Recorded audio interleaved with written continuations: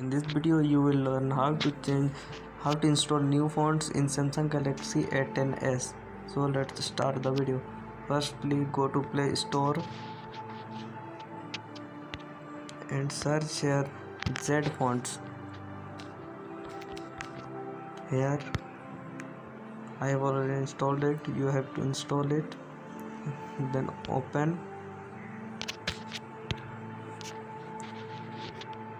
open it here you can see there are many types of fonts which you want to install it.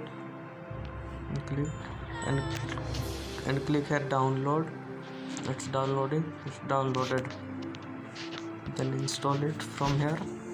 Click on install.